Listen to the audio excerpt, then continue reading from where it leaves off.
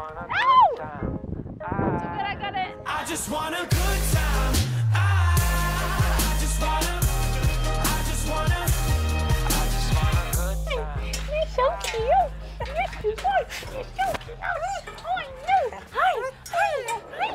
What do you do outside of work for fun? When I get a chance, play golf. Are you any good?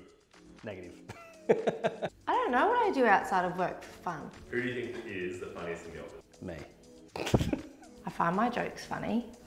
Me. Emma doesn't really have a sense of humour. What is your biggest fear?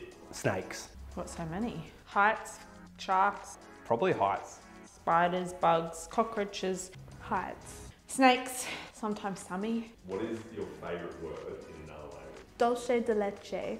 I think it means like caramel in Spanish. Hola, señor. ¿Cómo estás? Hello, señor. How are you? I think. Cofferdoma. I think that's how it's pronounced in Dutch. I think it means up. Sign language. First thing you do when you wake up? Check my phone. Hit snooze. Open my eyes. Go on my phone. Girl, get pole light skin from a band-aid. Nothing that you say sticks like Pam spray.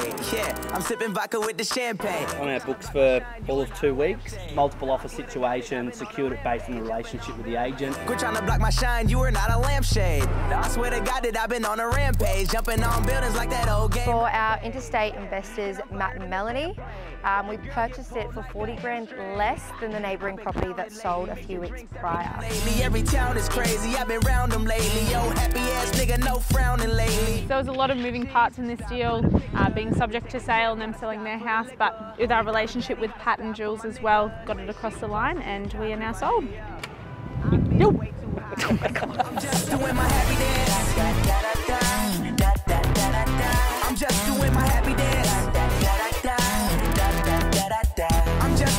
But I think the thing at the moment with the market is a lot of people think that the market's slow because interest rate rises, stock availability. The reality is there's still a lot happening. I think it's just due to the fact that people are typically only exposed to on-market properties, but the reality is we're still buying as much as we ever have been, if not more. Yeah, a couple of weeks ago we released Brisbane's biggest off-market list with over 300 properties available just to our clients exclusively that were off-market. That list is continuously growing um, and we're finding we're purchasing a lot more off-market in the current market conditions. So yeah, there's always properties out there, whether you think the market's quiet, hard and fast, whatever it looks like, you've just got to know how to identify the right deal and that's obviously what we, we can assist with. But